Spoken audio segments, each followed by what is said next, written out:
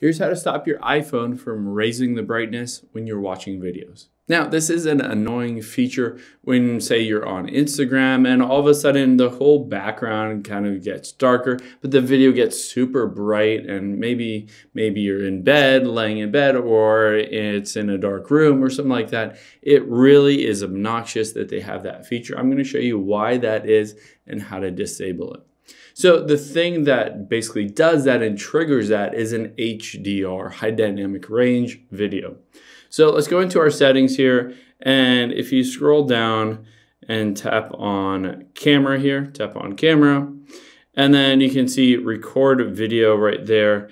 You can see in here high dynamic range, HDR video, and basically if somebody has this turned on and then records a video, uploads it to YouTube or Instagram or wherever, sometimes it'll really increase that brightness and make it too much.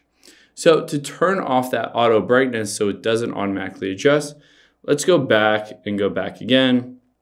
We'll scroll up until we get to accessibility. And then on here, we will go to display and text size, the third option. And then at the very bottom, you can see auto brightness. So if this is toggled on, then you're just gonna to want to toggle that off and don't use the auto brightness and it won't automatically adjust the brightness of that specific video.